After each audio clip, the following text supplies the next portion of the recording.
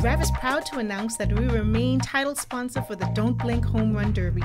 We've had a long standing relationship with Todd Isaacs, his family, and the Freedom Farm Baseball League through the years.